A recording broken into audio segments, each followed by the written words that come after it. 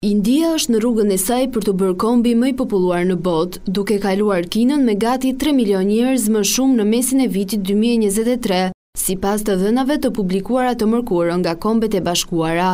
Popullsia e Indisë parashikohet të arrijë në një mijë e katërqind e njëzet e tetë pikë gjashtë milionë kundrejt një mijë e katërqind e njëzet e pesë pikë shtatë milionë të Kinës.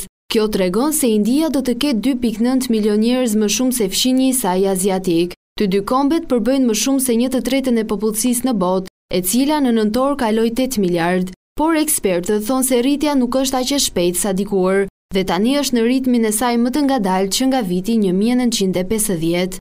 Si India dhe Kina kanë parë rënie në normat e tyre të lindshmërisë, në Kinë popullsia filloi të bjerë vitin e kaluar, ndërsa edhe në Indi, normat e lindshmërisë kanë rënë ndjeshëm në dekadën e fundit.